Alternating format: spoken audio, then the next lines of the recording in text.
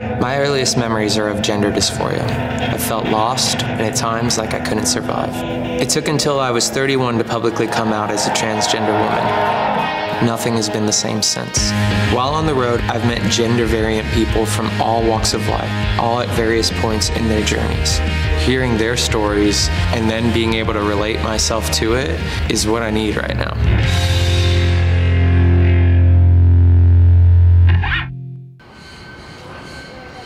I try to project a look of don't with me. I think a lot of that has to do with growing up in the punk scene. I mean, I've done that since I was a teenager, getting beat up all the time.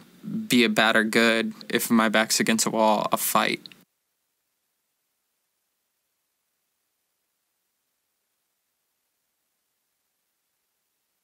It's not easy to be trans anywhere. I've had to deal with a lot of negativity because being out there so much when there wasn't a lot of other people, especially female to male. Moving through public as a trans person is an inevitability of issues. Whether it's just, you know, someone intentionally trying to insult me or someone maybe even threatening my life or my health. It's either live afraid and completely uncomfortable and unhappy with myself or just go out there and do it and be me.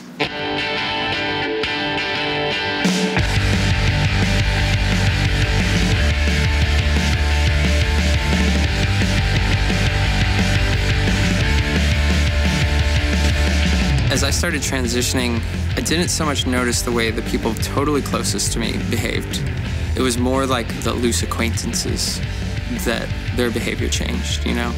I think it just makes some people nervous and uncomfortable. For me, I went through transition and I lived in the city and I didn't own a car. So I was on public transportation every day, having gone from like a bearded man to a, a, woman and every stage in between. I was on the L and there was a guy who had been staring for a while and finally approached me. And he wanted to know if I was trans, and he did it in a really kind of inappropriate way. Like he kind of leaned in and got too close, and it was unsolicited. He missed his stop, followed me to my stop, then tried to follow me off of the platform, and I finally had to, you know, stop him. But it, for me, it was a microcosm of a larger issue, which often results in violence. There's definitely a level of danger that I feel kind of constantly. There's always like that lingering sense of this may not be okay. How do you feel about like trans women are like somehow more like enraging to society oh, as opposed absolutely. to trans men oh, and totally. why that is. That's misogyny, huh? That's just well, good right. old fashioned misogyny. and someone who wants to be a man, where there's this kind of sense of like, well, yeah, you'd want to be a man in this culture. I mean, like even when we talk about homophobia, you know, it's not masculine gay men who are the issue. Right. That's a good point. Yeah. Yeah. Sure. So I mean, trans women are incredibly threatening. Getting I mean, under spot and privilege, and that, and that, and it calls the whole system into question. It calls the whole system into question the threat of violence to trans women as opposed to trans men speaks a lot to male privilege. Prior to transitioning, I didn't realize what that extended to you and to how misogynist culture is. Let's talk about my male privilege now. I was a woman, and believe me, my eyes are the same eyes that see out of the body that was before. And when I walked into a room as a as a dyke or a butch woman, whoa, people would react to me so horribly, saying mean, nasty things, even physically violent against me. And now when I walk into a room as a man, it literally opens up to me. People forget trans women are giving that privilege up. It is interesting to watch privilege fall away. Privilege you didn't know you even had just in public spaces, the way people treat you or the way people look at you changes. Men are treated with a certain amount of respect in public space, and women are often seen as objects that anyone else has access to. The trans part just adds another layer to it. My experience at this point really overlaps with any woman in public space. It's really a, a largely a feminist issue. I'm glad that I have the experience of being both. I feel like there's a lot of power in that that most women don't get.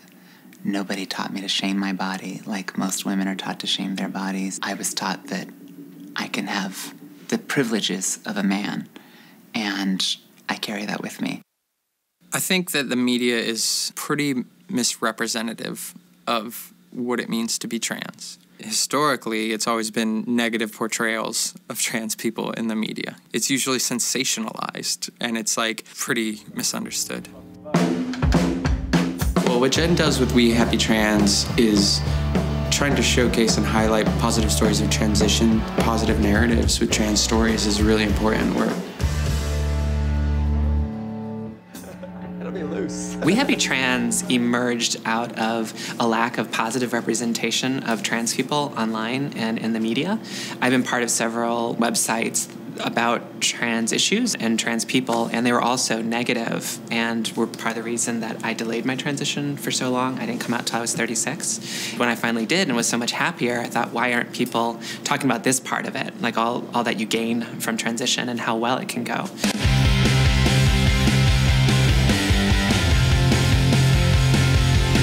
People are changing their mindset just within the last year or two, and it's really amazing to see. The fact that we're sitting here talking is huge. That wouldn't have even happened two years ago. Someone like Laverne Cox on the cover of Time magazine. I could never have imagined that. I think the Rolling Stone article about Laura Jane Grace was awesome. It's becoming progressively more understanding and more accurate to the trans experience. The more content we add to the media pile of trans lives, the more people are going to start seeing their stories portraying us fairly, accurately, and in a positive environment, you know, living happy lives, doing normal things, I think that would be the best way to fix most problems. My hopes are that you'll educate people to the point where they accept that there's people of all different types of gender variation, class, sexualities, whatever. For me, I don't want it to be the only thing about me as an artist. I don't want it to always be like transgender performer, transgender singer just want to be a singer, you know, or I just want to be in a band.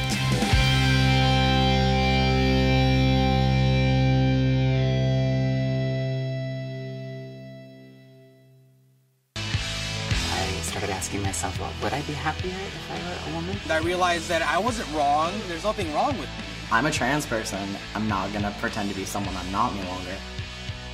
You can classify someone as trans, genderqueer, whatever you want. But when it comes down to it, they're just people.